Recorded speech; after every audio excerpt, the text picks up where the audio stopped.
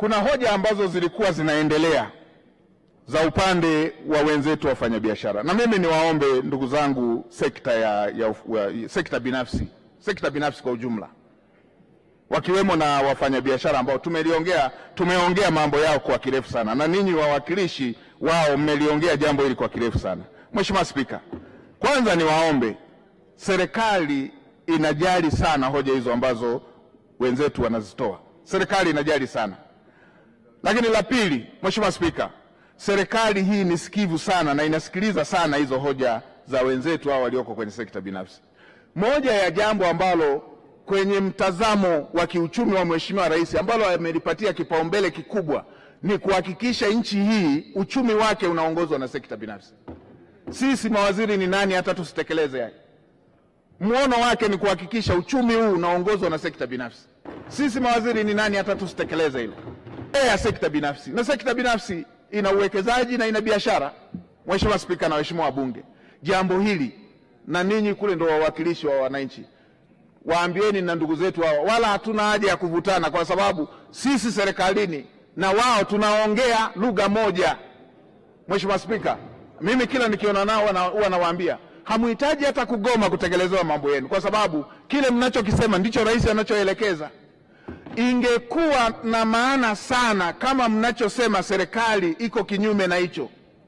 Hapo ndipo ambapo nguvu huwa inatumika. Kwa hiyo Mheshimiwa Spika, mimi niwaombe wenzetu wala tusi, tusijirudishe nyuma sisi kama nchi kwa mambo ambayo tunakubaliana mtazamo. Twende tuwe tunakaa ku, kuongea hoja moja moja, tuwe tunakaa tunaongea hoja moja moja, na tunapoongea hoja moja moja tunaongelea nchi yetu na tunaongelea maisha yetu. Mheshimiwa Spika, tumekaa sisi na ndugu zetu hawa ambao tumewaambia wafanyabiashara, kama rais anawasikiliza, anaweza kutenga siku nzima anakaaga nanyi sekta binafsi, anawasikiliza siku nzima. Waziri mkuu alisimama pale, wao wenye wanajua, masaa nane kwenda kumi anawasikiliza. Naibu waziri mkuu amewasikiliza. Sisi tumeenda mawaziri wanne, tumewasikiliza. Kama tunasikiliza na tunakubaliana hoja moja moja na hatujakataa kuendelea kuzifanyia kazi, kwa nini tushinikizane kwa mgomo? Migomo hii inaturudisha nyuma inaturudisha nyuma kama taifa na inaturudisha nyuma familia moja moja. Kwa hiyo kwa sababu tunasikilizana, mimi rai yangu, hatuna haja ya kutumia utaratibu wa nguvu. Tuendeni tuendelee na utaratibu huu. Mwaka jana sekta binafsi walituambia tupandishe wigo ule wa kuandikisha VAT. Mheshimiwa Spika, tulifanya hivyo, tulivyotoka Kariakoo tukafanya hivyo na tukakubaliana tutaendelea kwenda hatua kwa hatua hata hoja zingine, Mheshimiwa Mwenyekiti, inawezekana zipo ambazo, ambazo hatujatekeleza. Hatujatekeleza kwa sababu ya kiburi, hatuja, hatujatekeleza kwa sababu ya kukataa. Tumekuwa na hoja ambazo tumefanya engagement. Kwa mfano, Mheshimiwa Spika, moja ya hoja ilikuwa inatolewa ilikuwa inahusisha kushusha VAT, kushusha VAT kutoka asilimia kumi na nane kwenda asilimia kumi na mbili. Hata mimi ningetamani iwe kumi na mbili, ningetamani hata iwe kumi lakini Mheshimiwa Spika, hatujaacha tu kuishusha kwa sababu ya kiburi cha wizara, wala hatujaacha kushusha kwa sababu ya serikali tu kukataa. Tumeacha kushusha kwa sababu tuna mambo mengi tunatekeleza. Ukishusha asilimia mbili tu VAT unapoteza bilioni mia sita kwa mara moja.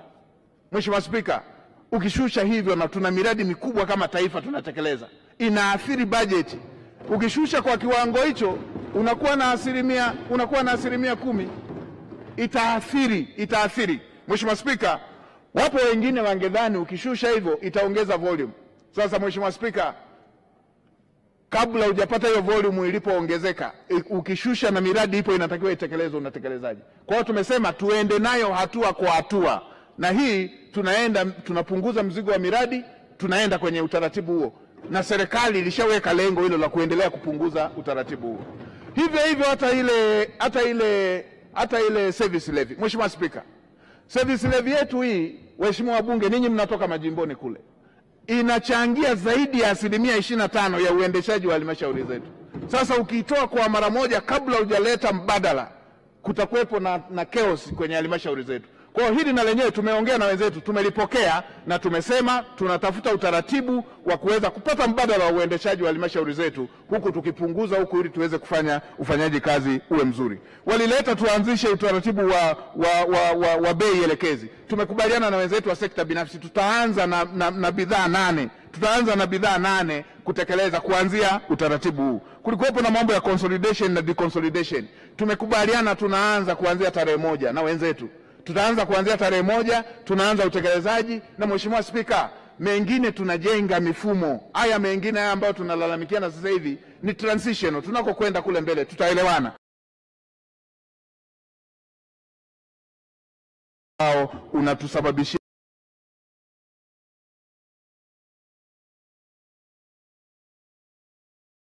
mfumo wa kodi ya ndani wa kodi za ndani pamoja na mfumo wa, wa, wa forodha ambayo itaenda kutuondolea, kutuondolea haya matatizo ambayo yanajitokeza. Yana Mheshimiwa Spika, mambo mengine ambayo yamelalamikiwa ambayo ni ya kiutawala tumeshapata ridhaa mawaziri wa kisekta, wala hatutawaita kituo kimoja, tutazunguka kule mikoani.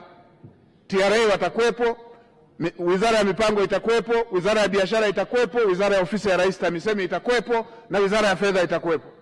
Tutatatua haya ambayo mengine ni ya kiutawala ambayo yanatukwamisha, wala hatuna haja ya kulumbana. Ni nchi, nchi ni yetu sote.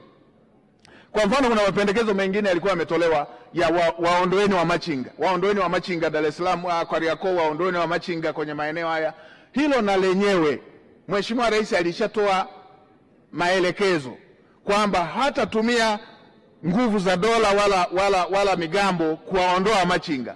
Atawatengenezea utaratibu mzuri wa kipato wa kufanya shughuli hizo ili waweze kufanyia shughuli katika eneo mbadala bila kuathiri shughuli zao. Kwa haya ndio ambayo yanaendelea. Kuna maeneo ambayo tumeshafanya, kwa mfano Dodoma, mnaona pale ambako wanafanyia e, kazi ndugu zetu wanafanya kazi nzuri kabisa. Hata Dar es Salaam tunajenga masoko, tukishamaliza mpangilio mzuri wa ufanyaji wa kazi utafanyika. Hii na yenyewe si kwamba tumewakatalia wenzetu wa wafanyabiashara, lakini tulikuwa tunajali kwamba wafanyabiashara ni watoto wa mama na nawaheshimu sana, na machinga ni watoto wa mama na nawaheshimu sana, na sisi ndicho ambacho tunakitekeleza tuna, tuna na hivyo ndivyo ambavyo serikali inatekeleza. Yale mengine yote ambayo ni ya kiutawala, Mheshimiwa Mwenyekiti, e, sisi kama serikali tumeyapokea. Hoja zingine zote zile ambazo zilitolewa na kamati ya bajeti ambazo zinahusisha vifungu kwa vifungu, Mheshimiwa Mwenyekiti, ni, ninaweza nisipitie kifungu kwa kifungu kwa sababu tumeenda kwenye vifungu vile na tumefanya engagement na kamati na almost tumeelewana katika maeneo hayo ambayo walikuwa wame, wameyaweka. Hivyo hivyo na hoja zingine ambazo zimetolewa na, wa, na wabunge mbunge moja moja, zingine zimeshatolewa majibu na, na, na wizara za kisekta, lakini zile ambazo zimetolewa na wabunge kwenye hoja moja moja ambayo inahusiana na sheria ya fedha, sisi tumezifanyia kazi. Tutakaposoma kesho hotuba ya, ya, ya marekebisho ya sheria ya fedha ya, ya utungaji wa sheria ya fedha ya mwaka huu, tumeweka yale ambayo, ambayo tume, wabunge waheshimiwa wabunge waliyasema na, tumeyarekebisha na tume na tumeweka yale mengine ambayo tumeyafanyia marekebisho ili kuweza kuhakikisha kwamba hoja ambazo waheshimiwa wabunge wamezisema zinaweza, eh, ku, ku, ku, zinaweza kuonekana katika sheria sheria hii mpya. La mwisho, Mheshimiwa Spika, nirudie kwa kuwashukuru sana na kuwapongeza waheshimiwa wabunge. Bunge hili limekuwa bunge makini sana, bunge objective sana, ambalo linajali maslahi ya taifa letu. Mheshimiwa Spika, wabunge hawa tunashirikiana nao kuanzia kwenye kamati na mara zote wamekuwa wakitoa hoja zinazojenga nchi yetu, na ndio maana serikali imekuwa ipati ukakasi katika kukubaliana na, na, na hoja hizo. Na Mheshimiwa